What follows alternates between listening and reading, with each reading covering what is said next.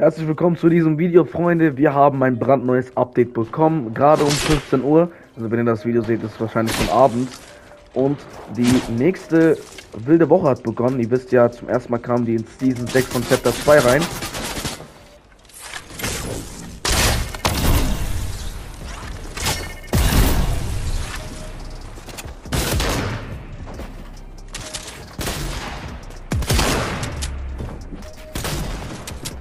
Oh, jetzt sterbe ich aber.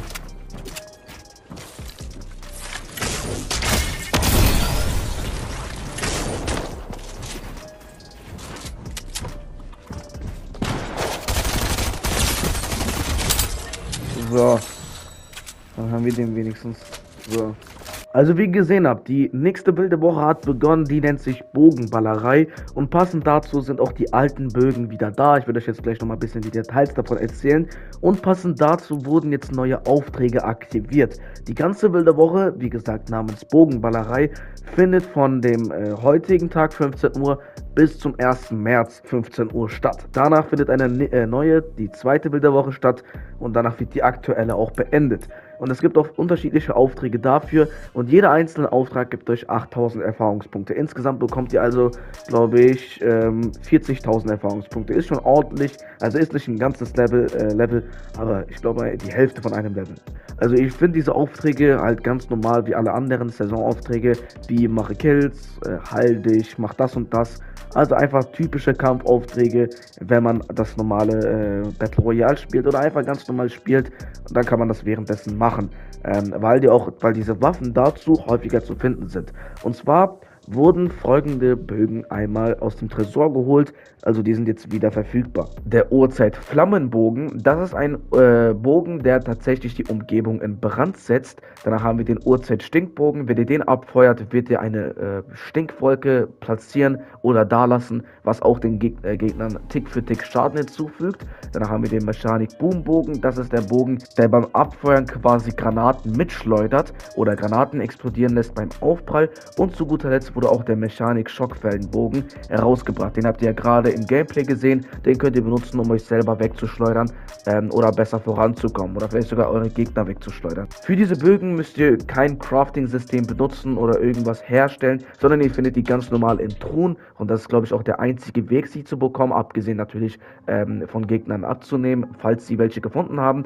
Und ihr könnt auch die passenden Pfeile, die für diese Bögen benötigt werden, was auch eine Munitionsart ist, in Munitionskisten finden.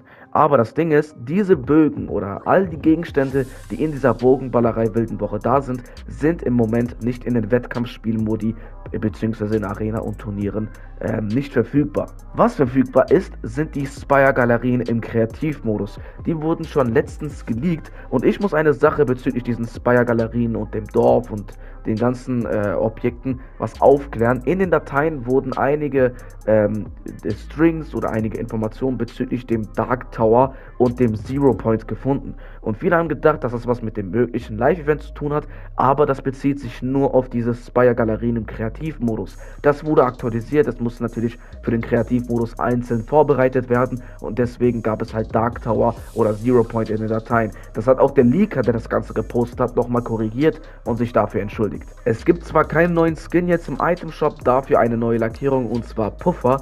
Ähm, ich finde die eigentlich mega schön gemacht, die sieht auch sehr, sehr, sehr, sehr scharf aus. Äh, müsst ihr mal austesten, würde ich auch empfehlen. 300 V-Bucks, ich glaube, eines der besten 300 V-Bucks kostenden Lackierungen. Ähm, wirklich mega nice gemacht und vor allem am Ende gibt es auch andere Farben, anstatt das nur knallrot zu machen. Monarch ist noch hier DC, ich denke mal wegen der Peacemaker-Serie, hat jetzt ein Comeback gemacht. Viele, viele DC-Items sind jetzt da. Nicht alle, aber die meisten davon. Wir haben jetzt vier DC Shop-Tabs. Einmal mit Rebirth Harley Quinn, Harley Quinn ganz normal, Flash, Beast Boy, Wonder Woman. Danach haben wir den gepanzerten Batman Zero. Uncharted zählt jetzt nichts dazu.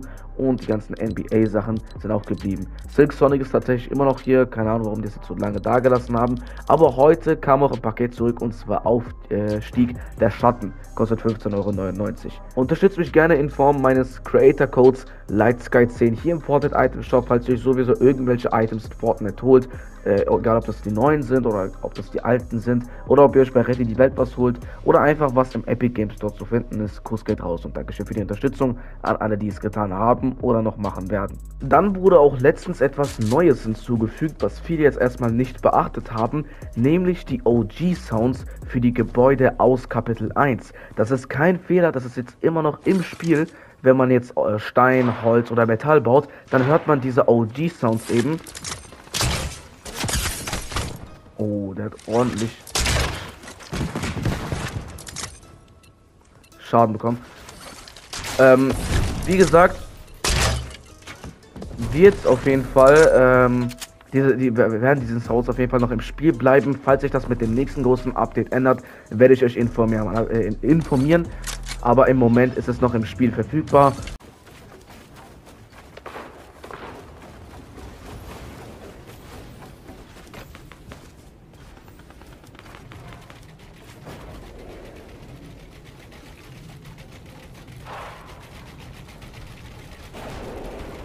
Und ich finde das eigentlich sehr, sehr, sehr nice gemacht, weil diese Sounds irgendwie sehr befriedigend sind. Also die hören sich mega nice an, habe ich schon damals gefeiert.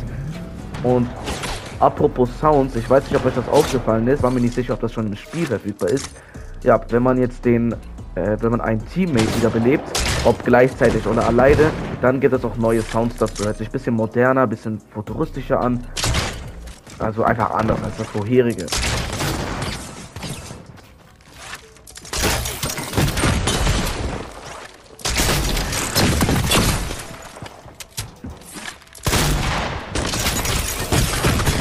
Oh oh. Ich bin fast gestorben. Seit gestern Abend oder seit gestern Nacht ist es so, dass Version 19.40, was wahrscheinlich das letzte große Update in dieser Season sein wird, auf den Staging-Servern ist und voraussichtlich nächste Woche Dienstag veröffentlicht wird. Mit diesem Update werden wir auch wahrscheinlich erfahren oder sicherlich erfahren, ob wir überhaupt ein Live-Event in dieser Season bekommen werden oder nicht. Also ich persönlich glaube, dass wir kein Live-Event bekommen werden. Wenn wir eins bekommen sollten, dann wird es sehr wahrscheinlich wie in Season 6 ein Solo-Event sein. Also wenn wir in die Season reingehen, dann so ein interaktives Live-Event. Ich hoffe, ich verstehe, was ich meine. Also damals bei der Nullpunkt-Krise zum Beispiel. Ja, des Weiteren gibt es zuletzt auch noch neue Erdbeben-Informationen. Denn ihr wisst ja, dass seit einigen Tagen die Erdbeben sich von Covered Caravan wegbewegen oder in eine andere Richtung begeben. Ähm, der Grund dafür ist unbekannt, aber es kann daran liegen, dass der Schaden sich einfach erhöht oder größer wird. Und mittlerweile sind die fast an der Brücke angekommen, die in der Nähe von diesem Restaurant ist, links neben Tilted Towers. Bald sollte auch dieser Laden hier links neben Tilted Towers durch diese Erdbeben zerstört werden, damit auch ein Krater entsteht. Jetzt ist bekannt, dass die ungefähr, ähm, also wirklich ungefähr eine Minute bis eine Minute und zehn Sekunden dauern. Und diese Erdbeben passieren auch immer zum Start eines Matches, wenn die erste Sturmzone aufzieht.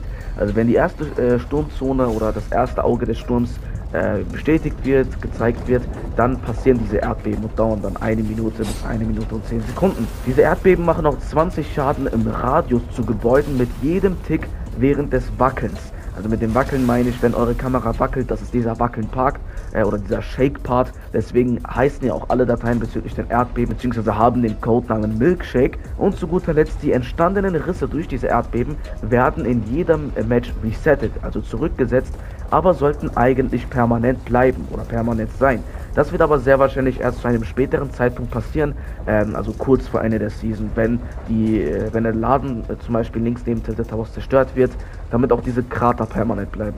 Und wirklich zum Schluss gibt es noch zwei neue Animationen für die schon bereits erwähnten Hühnern, die in naher Zukunft aggressiv und Spieler angreifen werden. Also ich habe in den letzten Leaks-Videos auch darüber gesprochen, anstatt dass sie dann so nutzlos sein werden oder dass man sie nur tragen kann, werden die dann auch aggressiv sein oder aggressiv werden.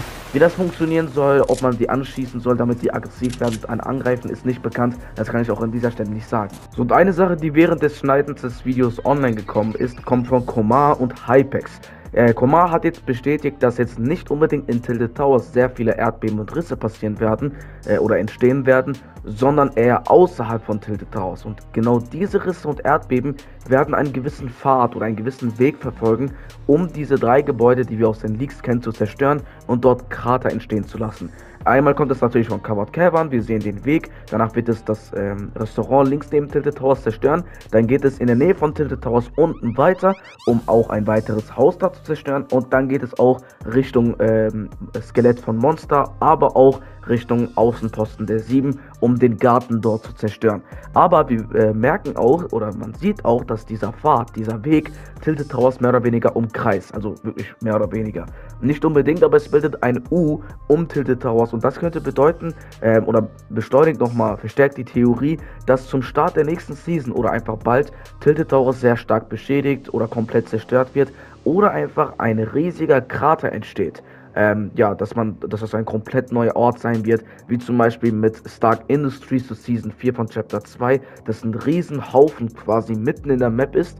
Würde ich feiern, um ehrlich zu sein, dass sie nochmal diesen Troll machen, Tilted äh, aus dem Spiel zu entfernen. Und Epic Games arbeitet jetzt an einer neuen mythischen Waffe, die so ähnlich wie die von Wolverine sein wird aus Season 4 Chapter 2.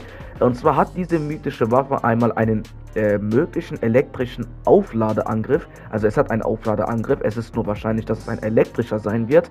Es hat einen geringen Angriffsschaden von 25, einen geringen Angriffsschaden von 50 an Gebäuden, dafür aber einen großen Angriffsschaden ähm, von 65 und 250 an Gebäuden.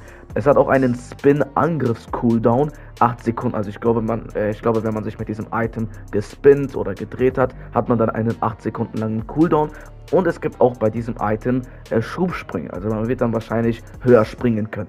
Danke fürs Einschalten, Freunde. Ich wünsche euch noch viel Spaß mit der neuen wilden Woche Bogenballerei. Äh, also ich fand, ich habe die Bögen schon damals richtig gefeiert und dass die jetzt auch in Kapitel 3 am Start sind, ist eine mega coole Sache von Epic Games. Lasst ein Like da, wenn das Video euch gefallen hat oder sogar informiert. Und über ein Abo würde ich mich ebenfalls freuen, damit ihr sowieso auch auf dem neuesten Stand bezüglich Fortnite seid. Bis zum nächsten Video und ciao.